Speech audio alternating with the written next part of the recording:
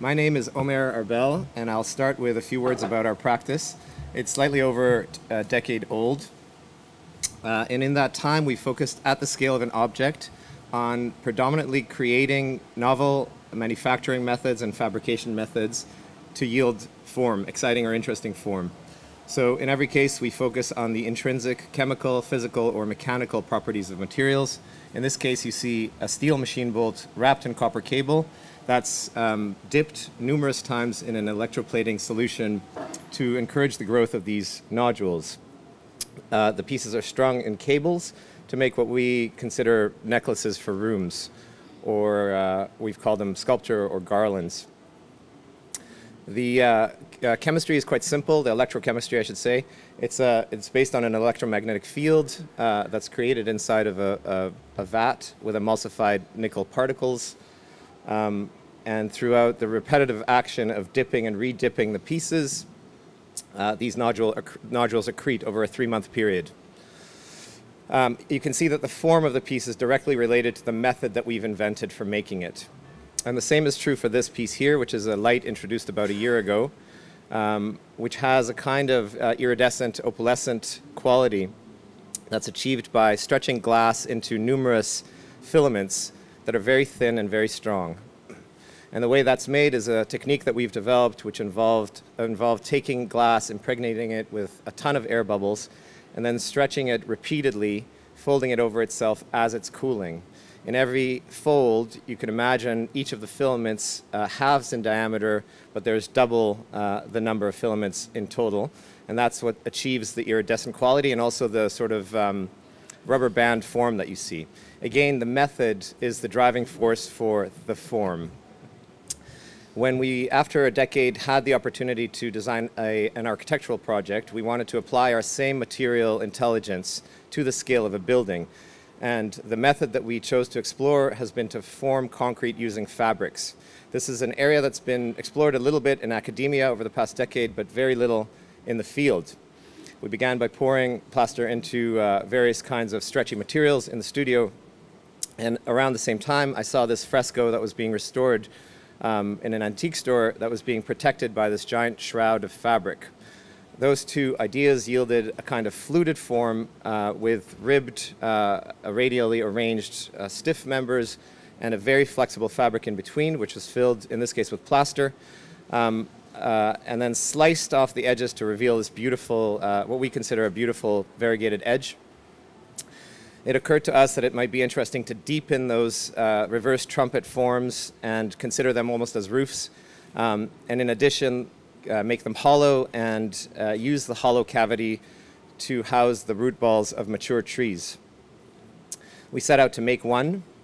Um, and here you see the rebar cage, the redundant draining in the inside and a conduit.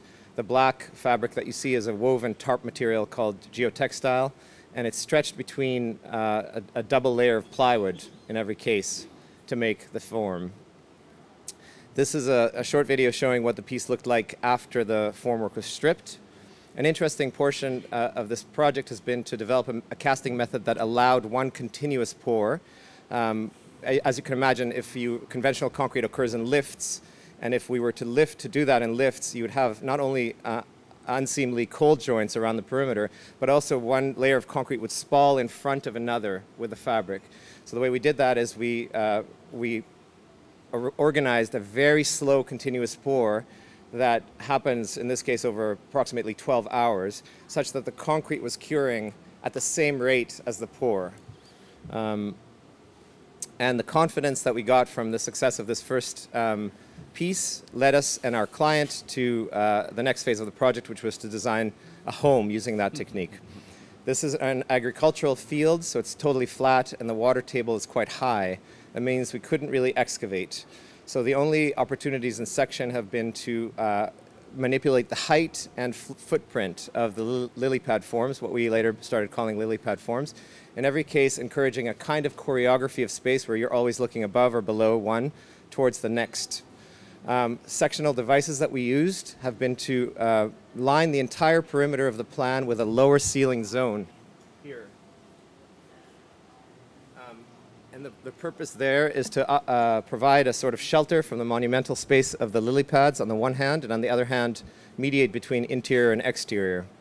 A second sectional device has always been to layer the lily pads such that there's always um, a relationship between the foreground, in this case, the entry to the home and a, what we call a winter garden, uh, mid-ground, in this case, it's the dining room and kitchen, and a background, in this case, the living room. And here's a mezzanine leading up uh, above the living room. Below us, we see the kitchen, and above is the outdoor dining.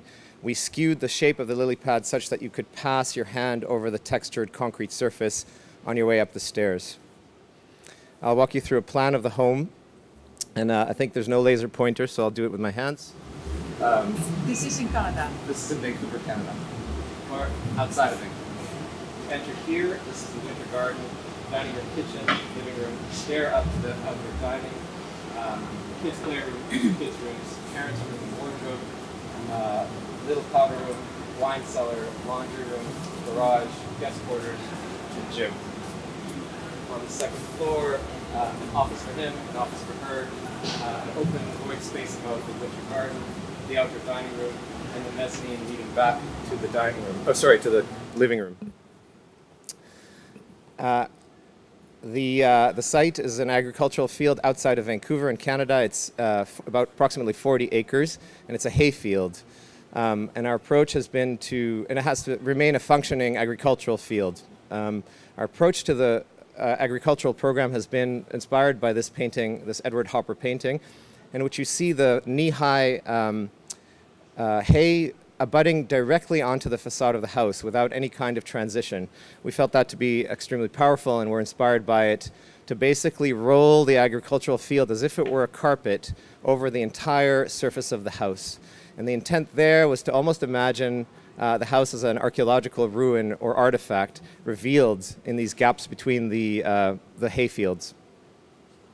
Um, I've included this video that shows the site on the day of the casting of the two largest lily pad forms. On your right is the 10 meter tall um, uh, living room one, and on, on the left, the winter garden, which is 9 meters tall. And this is the slow continuous pour that I mentioned, in this case, upwards of 16 hours. And you can see the agricultural field surrounded by a second growth forest, which is typical to this portion of the world. The other reason I included this video is because you can see that the day is overcast which is typical of the northwest coast of British Columbia. Most days, eight months out of the year, are overcast days. And so there's a grayness to the sky and a kind of ambient quality to the light that's really important that, that we've responded to in various ways, which I'll get to in a moment.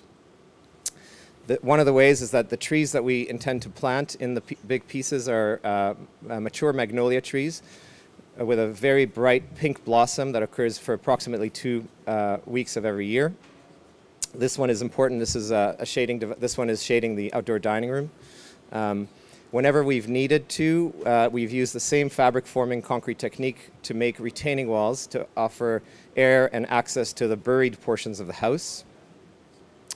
From an elevational perspective, the strategy has been to treat the concrete works as if they were almost precious archaeological artifacts and build a modernist box around them, which is in this case clad in a cedar cladding, which will go kind of silver, um, matching almost exactly the color of the concrete on the one hand and the sky on the other hand. So there's kind of palette of gray with this very pink, bright uh, rooftop scenario. Um, and then we carve out pieces of this uh, box to reveal portions of the facade and allow light in. In this case, you see a west-facing um, slot above the dining room uh, lily pad, and the intention there is to capture the horizontal light of the sunset and reflected on the underside of that dining room concrete ceiling. And that's in contrast to the two lily pads on either side, which are skylit and scoop uh, southlight above. On the detail scale, there's a wood screen. Yeah, sorry, one, one minute. Yeah, yep. there's a screen that uh, matches the same profile as the um, uh, wood cladding outside, an east-facing scoop for the kids' playroom, um, and then their south uh, portion, and I'll, I'll end with some construction images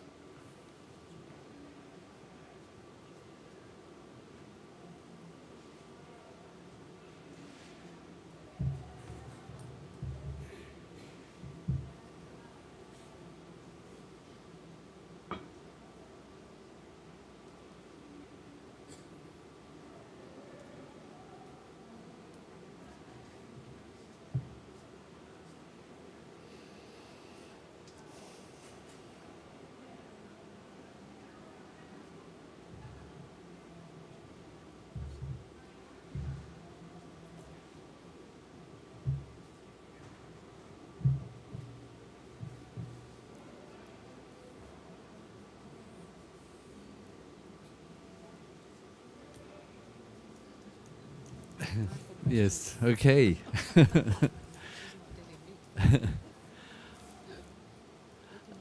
yeah, very interesting project. Um, I'm quite curious. You got, I you showed your experimental process at the beginning. So, uh, was the lily pad something that you evolved first and then found a project for it? Yes, it's uh, ongoing research that had occurred in our office for approximately five years before this project came along. And how did you uh, convince the client that the lily pad was for them? They fell in love with it right away, but the first question was what, how much does it cost and how long does it take? And I did not have answers to those questions. But the first piece that I showed you, the five meter tall uh, first experiment that we had, uh, the intention there was to sort of prove out the concept. And the deal we had with our client was that if it was a failure or too expensive, they just have a wonderful piece of garden art. But if the, but if the pricing was uh, uh, acceptable and, and the schedule is acceptable, that they would proceed with the construction of the other pieces. Okay. I really want to applaud you as an architect experimenting like this because I think that we so often get caught in our practices in just producing, producing without researching and experimenting. And it's been a fun presentation. Um, yeah, I don't think I want to say anything else. I like the juxtapositioning between the modernist and, and your, this sort of flowery thing. And I think if you were at uh, Peter Cook's lecture yesterday, I don't know if you were there, you would have seen some very interesting work that your work reminds us of. Thank you. Thank you. Um, yeah, thank you very much. Uh, I also admire you. And um, but I was wondering, who's the contractor? How is it? Are you part of being the contractor, or how is it done? How is that part done? And I was wondering, because this is Canada, is uh, how do you deal with insulation? Yes. So uh, the, the contractor, the first question you asked, is actually amazingly a very inexperienced young uh, builder. This is only his second home That's that he's he building. know. Uh, and that's, that's been like a- kind of an amazing uh, uh, uh, gift for the project because he's fearless and he doesn't kind of expect mistakes or he really d- goes and builds these things. It's kind of incredible, but of course, the inexperience is also costing the project a lot of inefficiencies. So that's to respond to your first question. Um, but he's external to our organization. We're not building, he's a, a totally different group. And your second question regarding insulation um, is, is the main reason why uh, the lily pad forms are encased inside of the modernist box so that the envelope is actually most, by and large, completely conventional. Uh, the pieces are inside at all times. So the, the sort of Yeah, but it's for me not just that part that I believe. I roof. was uh, thinking the outside, the your uh, concrete walls around it, but what will be clad by, by of wood. course, they'll be clad But- with but- but- insulation, but and, also then a, insulation, a- okay. and then a cedar, uh, a cedar cladding, Yeah, which the silver cedar cladding. yeah, yeah. I'll go back to, to this image. But uh, the intent was to isolate the risk in, in, internally to the building. Thanks, Richard. Well, like Karen, I applaud you for the courage in the work. Thank I don't you. think anybody in the audience could have seen this and not thought of um, the, the Wax Building headquarters, Frank Lloyd Wright, and that experimentation. Um, but I've got uh, a a question and then a comment which will trigger a, a, a question. Why? Is it because the structure is so strong, it's so efficient, it's so uh, economic, it's so sustainable? Why go through this process? And the second is the trees. I'm just uncomfortable about the trees. I buy the building and I super buy the interiors, but then I look at the exterior and I think these trees are just kind of, they're not part of the building, they're on the building. So tell me about the trees. Um, okay, to your first question of why, there's two responses. One of them is that the predominant uh, way that we construct with concrete has almost nothing to do with its fluid nature. There's no acknowledgement of the fact that it's a plastic material. And so, and I think that's a shame. I think it's a shame for many reasons. Uh, from an expressive perspective, because we're treating a liquid material as if it were solid. As, uh, concrete construction might as well be steel or wood in most conventional construction. So there's no acknowledgement of the material quality, and that's where it stretches back to the history of our practice. But secondly, efficiency. This method has a tremendous amount of um, efficiency built into it, both in terms of labor and materials. There's uh, a quarter of the amount of waste in the, in the fabric forming process than there is in conventional concrete construction, and the cost is actually significantly reduced from an equivalent construction rectangular construction because you can see it. It's just so, it's so simple to stretch the fabric between plywood ribs. Um, your second question about the trees, that middle platform that you see in this current image is the predominant outdoor dining room. So as I said, most of the uh, eight months of the year it's overcast, but on the four months, Vancouver is one of the most wonderful places in the world in terms of uh, the sort of quality of light and the, the brightness and um, northern quality of, of, uh, of light there. So the intention is for that top platform to be the predominant dining room So space. it's an umbrella. exactly. Right. And it's shaded by those three trees. So I, I believe the trees do interact with the spaces. I'm a little curious too about the Edward Hopper because I find his paintings have a eerie, foreboding quality to them. Um, as an inspiration, did you kind of respond to that s- surrealist thing, or it was more just from a landscape? I, I've always I've always loved his paintings because I always see the main protagonist in the painting, to my eye anyway, is the building. Even when there are very strong characters in the work, I believe the real what he was really painting were, were the was the architecture. So I always responded to it. But in that particular case, it just offered us an inspiration for how to um, gracefully meet an agricultural program with a, a pretty aggressive architectural entity. Mm. The clients weren't disturbed by being put into an Edward Hopper painting. Not that I know. Well, thank you very much. Thank you. And congratulations again on uh, winner of Future Projects House. And we'd now like to present you with your award.